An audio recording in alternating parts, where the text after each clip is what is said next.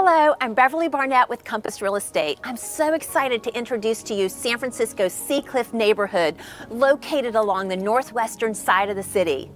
It is situated along California's rugged coastline and known for its large homes and stunning views of the Golden Gate Bridge, the Marin Headlands, and the Pacific Ocean.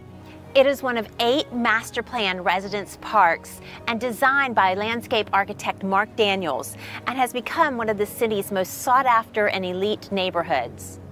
I like to say the neighborhood is in the shape of a boot, which includes the Pacific Ocean on the north, the Presidio Park down along El Camino del Mar into 28th Avenue on the east, and California Street on the south, and Lincoln Park and Lands End Trail along the west side. Less than 300 homes make up this remarkable community, which has a serene suburban feel and rear alleyways, as many of the streets do not have driveway cuts, adding to the neighborhood's beauty. Several homes were designed by notable architects like Willis Polk, Albert Farr, and Julia Morgan, who is best known for her work on Hearst Castle in San Simeon, California.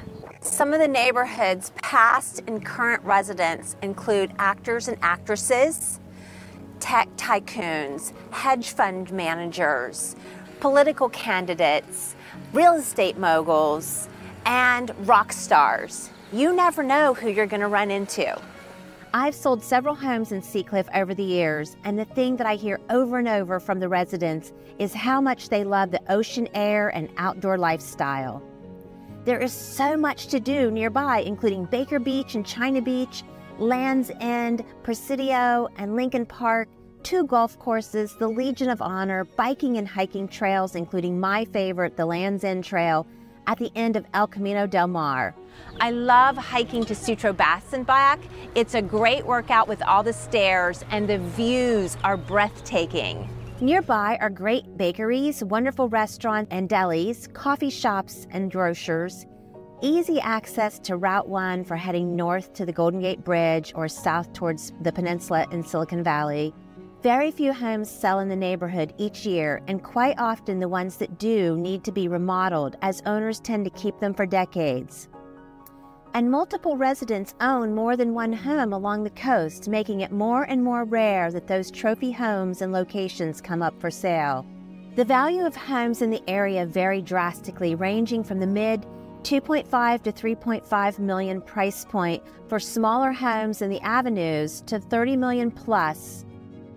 Two homes can be situated next to each other, approximately the same size, yet have drastically different values. The most expensive homes are situated along the coast, have unobstructed views, and beautiful landscaped gardens. The median home price is approximately 4.5 million, which is well above the city's median of approximately 1.5 million. A few more noteworthy mentions are the amazing sunsets, the sounds of the ocean and the foghorn in the distance, and the boats and barges as they pass under the Golden Gate Bridge. It's truly a magical area.